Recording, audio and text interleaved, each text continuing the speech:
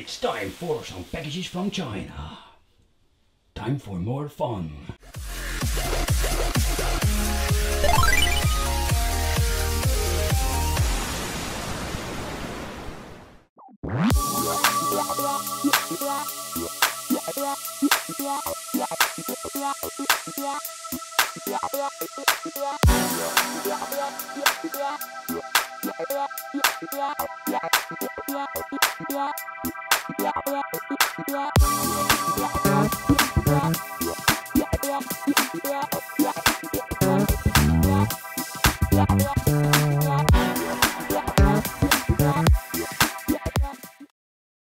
Welcome to the Wicked Gamer and Collector, welcome back to the YouTube channel and in today's video we are going to talk about the Datafrog wireless controller for your PlayStation 4.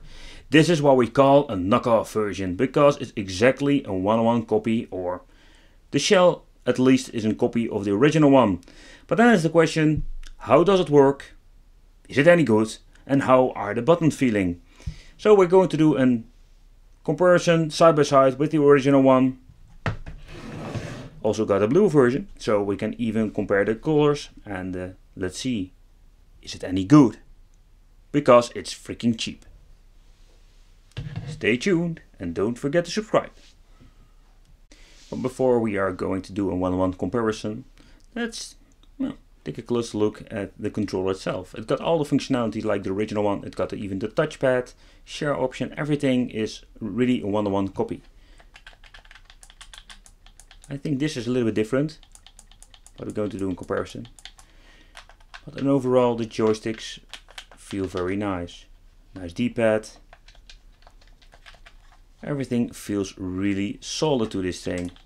So I'm very curious. Let's do a one-on-one -on -one comparison with the original one and let's see if we can find any differences. If you have seen the sample video uh, or the little part when I do the music with the slideshow, you already noticed they did some changes with the buttons. The decals are totally different. If you look at the share and the option button, the left one is the fake one, the right one is the original one. And you see there is some little difference in the color of the name. So again, a small difference. And the home button doesn't have the PlayStation decal. And I'm guessing this is for due of copyright. Alright, let's do a little comparison with the trigger buttons. This is the fake one. This is the original one. Do you hear it? Let's do it again. You hear that click? The original doesn't have it. The R1 button. Hmm. This one sounds the same. Analog stick. I must say, if you try this one, this one is slightly a little bit loose, looser than the original one. And the click is different.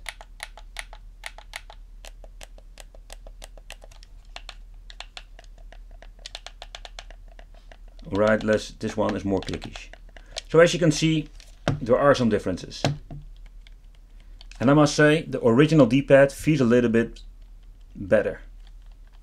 Got a I think let's how do I need to say this? A better push. I think this one is going to be way better if you want to play fighting games. So right. That's the side-by-side -side comparison with the original one and the fake one. Um, let's hook it up to the PlayStation 4 and I'm going to download the latest update and let's see what happens the first game we are going to try out is Wipeout I'm a big Wipeout fan. I played this game as a child. The first game I played was 2097, if I'm saying it correctly. It was really the first one that I played. I really love it. So back to the controller. Hmm, what do I think of it? I don't feel any delay or any problems. The joystick plays very nice. Rockets. active.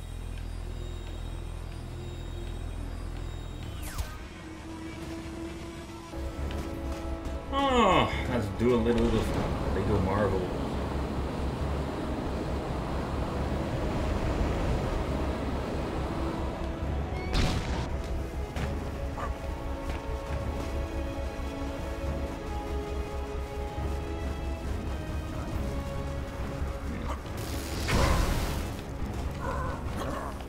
So for the final conclusion about the Datafrog knockoff controller for the PlayStation 4. Not bad at all. Not bad at all, really. Um, it plays a little bit different if you compare it with the official product. There are some slightly differences, so if you've seen the full movie and the comparison, uh, I pointed out some differences and you can feel it when playing, but it is not a big problem. If you play for a long time, it works just fine. Um, there are two things. First of all, I don't know how it's with the future with this controller. And how do you mean with this? I mean this with updates.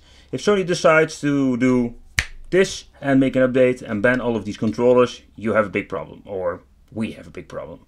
So I don't know how is if this is a yeah very good idea to buy and use this controller. So that's a little thing, and the second thing is it froze. I connected it to the PlayStation um, everything works, even the wake up modus works, but some way, I have really no clue, out of the blue, it froze.